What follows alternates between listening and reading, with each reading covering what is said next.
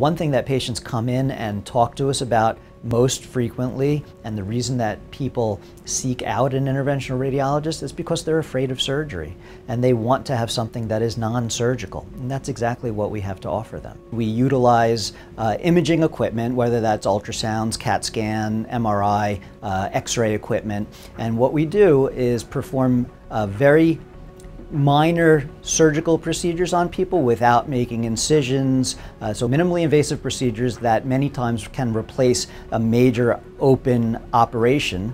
Uh, but many times we can do these, uh, these procedures um, through the size of a hole that you can see at the end of a pen. We treat uh, lots of different parts of the body. I love that I don't have to be limited to it. We have a ton of different techniques to treat all the different parts of the body, and it is absolutely one of the things that has attracted me to interventional radiology in the first place. If we can find a procedure that will make them better or improved and not affect their overall quality of life, that's what our real goal is, and that's what we tell our patients. We want to treat you, and we'll treat you as aggressively as you want us to treat you.